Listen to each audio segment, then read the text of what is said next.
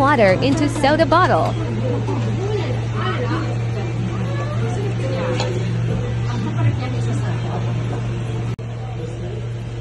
Switching the bottles.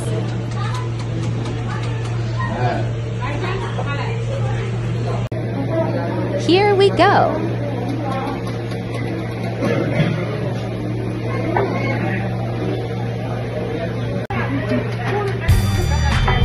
Sonra.